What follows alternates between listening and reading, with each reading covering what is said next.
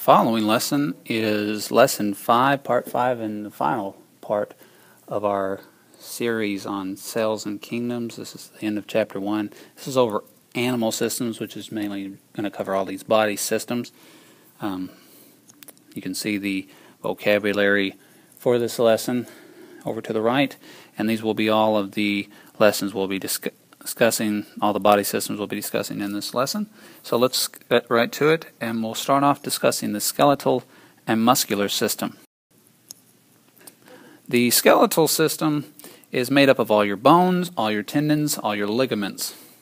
And the skeletal system has two functions. That's to protect your soft organs, so your skull, as you can see here, your brain is hiding behind here. It's at like protection. Your heart and your lungs are behind your ribs. That's protection. Okay, so that's function one. Function two is that it gives you your structure. The reason this rabbit looks like this is because its skeleton is shaped like this. Okay, um, so that's the functions of the skeletal system in a nutshell. Um, but what we need to remember the importance here of the muscular system, how they work hand in hand, is that the bones don't provide any power. They can't move on their own. Muscles provide the power that you need to produce movement. So skeletal muscles, as you can see here, there's skeletal muscles attached here, muscles to the bone. Um, they're attached by these tough rubbery tendons. When the muscle shortens, the bone will move Muscles that cause movement work in pairs or opposing groups. As you can see, they're in pairs here. Okay? Um, when a muscle contracts, it pulls on the bone it's attached to, and at the same time, the muscle in the leg here allows the bone to move freely. Okay? So, you can think think of a rabbit, this rabbit again, when he's running. Um, one muscle group pulls its leg up, the other muscle group pulls the leg down. But what happens first to tell it to move? Well, the very first thing that happens is the brain gets an electric nerve signal and it tells the brain, okay, it's time to move. And it tells the muscles to contract or shorten. And the contracted muscles pull on the tendon that pulls the leg up, and then they pull up and pull down. And this just continues as long as the rabbit keeps moving, it's going to go through that up and down motion. The digestive system is where um, all your food is broken down into nutrients, and that's how you get everything you need, um, nourishment wise, what an organism needs to live.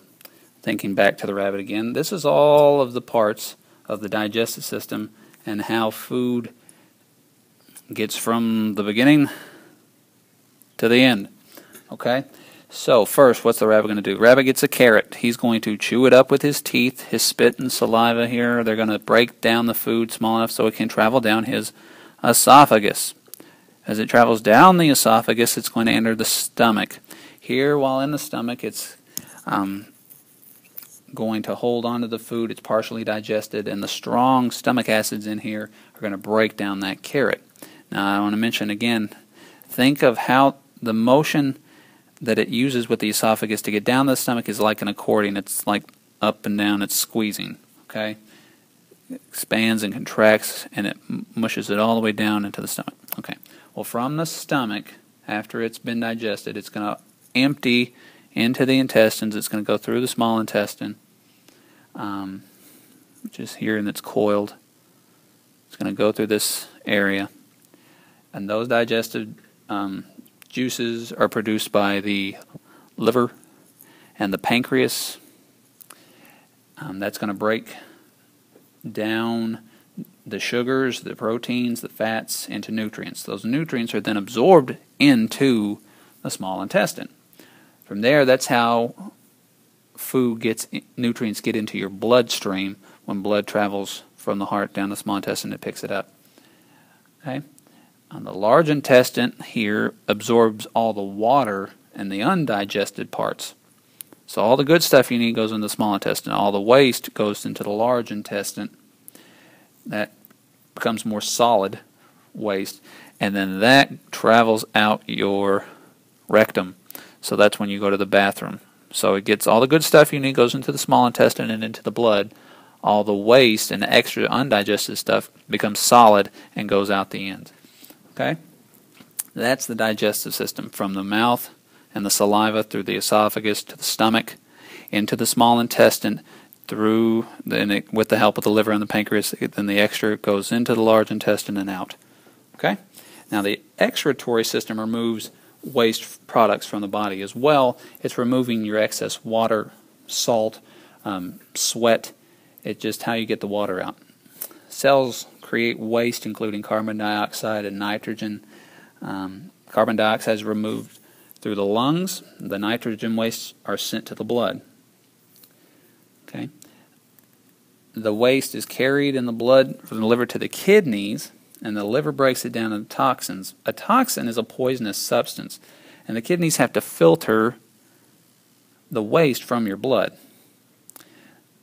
The kidneys remove waste using these tiny filters called nephrons, and the nephron can separate waste from useful material. Okay? They allow some substances to pass through, then others they don't they send any of the useful substances back into the blood and they collect the waste. And this is where we're collecting urine, which is your excess water and collected waste from the nephrons.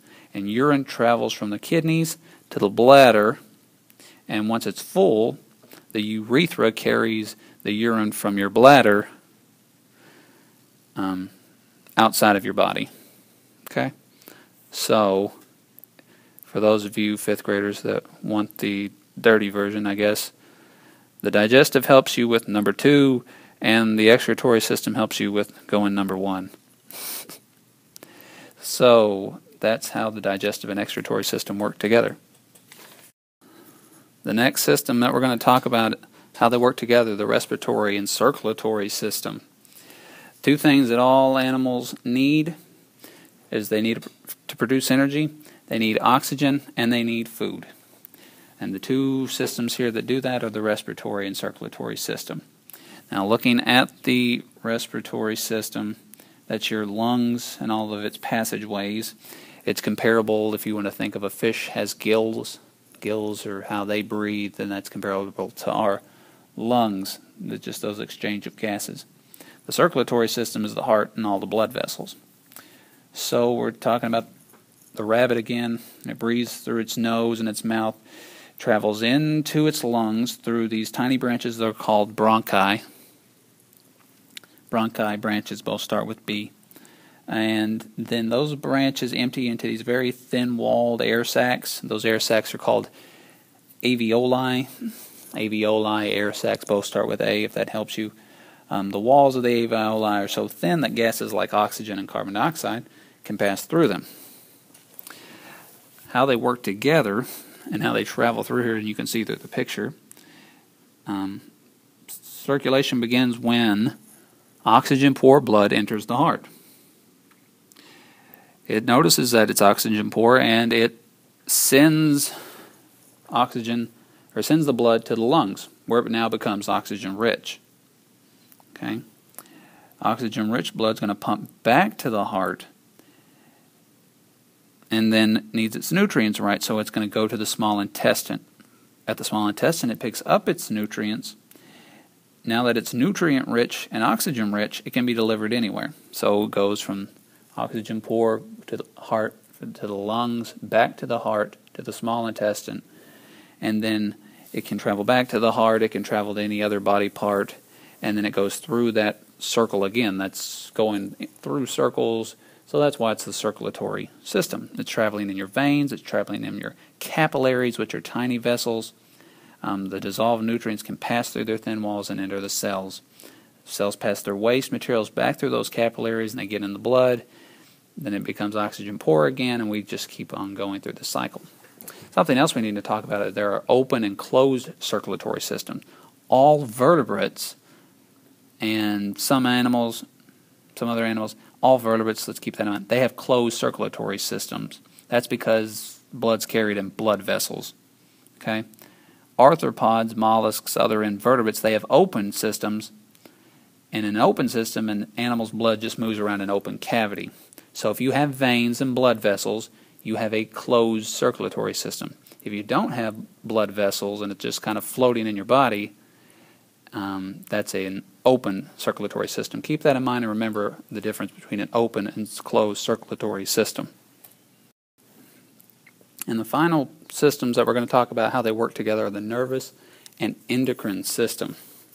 Well, the vertebrate nervous system includes the brain, the nerves, the nerve cord, and your sense organs. Okay? That works with your endocrine system, which contains all of your hormones. And hormones are just chemicals that are released into the bloodstream that change how your body acts. Okay? Example Suppose this rabbit, as you can tell, uh, standing, it sees a fox moving toward it. Well, the response begins, this light begins reflecting off of the fox and it hits the rabbit's eyes. Nerves in the rabbit's eyes send that message to its brain, and that brain sends a message back through the spinal cord that tells it, hey, we better start running because we all know it's a predator, it's going to probably eat me. Okay? So that tells the muscles in the legs to start moving, as we talked about earlier with muscles. At the same time, it needs to be going faster. So the endocrine system sends out adrenaline. And adrenaline's a hormone that increases the heart rate. Boom. And that sends extra blood to the muscles, so that gets it pumping faster, which gets it running faster, and that sends it into the flight or fight or flight thing, and that gets them ready to either fight the fox or run from the fox. And adrenaline is sped up the rabbit's body, so it's ready for anything. So adrenaline is important because it speeds up the heart rate, which makes you able to either run faster or fight or just get your body and blood pumping. Okay? So that's how the nervous and endocrine system work together. So again, finally, just to sum up, these are the body systems that we discussed. We discussed the skeletal system, which is your bones, your tendons, and your ligaments. That works hand in hand with the muscular system, which is your muscles, which give your bones the power to move. The digestive system is how you break down food and it can be absorbed into the bloodstream. Remember, it starts with saliva in your mouth and your teeth, travels down your esophagus into your stomach. Good stuff goes into the small intestine, that's where the nutrients get into your blood. The extra waste goes onto your large intestine and it goes out your rectum. This system works hand in hand with the excretory system, which is how you remove cellular waste from the body. That's your sweat, your urine, um, saliva, all the water waste is how that's getting out here. Your respiratory system is your lungs and the passageway, your bronchi, your alveoli. This is how you bring oxygen into the body's cells and remove that uh, waste of gas, carbon dioxide. It works hand in hand with the circulatory system, which is your heart and its blood vessels, and that's how you move blood through your body, and it goes from oxygen poor blood into the heart to the lungs, back to the heart, being oxygen rich, to the small intestine to become nutrient rich. It can go back to the heart and go back to any other organ, and then becomes oxygen poor again, and it just keeps circling. And remember, you have open open and closed circulatory systems. Closed circulatory systems are all your vertebrate animals, anything that's got blood vessels. Closed or open are your invertebrates, where they just kind of a body cavity and it floats around. The nervous system is your brain, nerves, nerve cord, all your sense organs. Um, that's how you get all your senses from your body systems to tell everything what to do. Kind of like your command center, I guess you could think. And this one works hand in hand with your endocrine system, which is your hormones, um, and that's how you get your hormones into your bloodstream, like adrenaline, which regulates those life processes. Or adrenaline makes your heart pump faster and tells your body to be prepared to run or fight. So, this has been our lesson over animal systems. If you have any questions, make sure to ask me. You can message me on Edmodo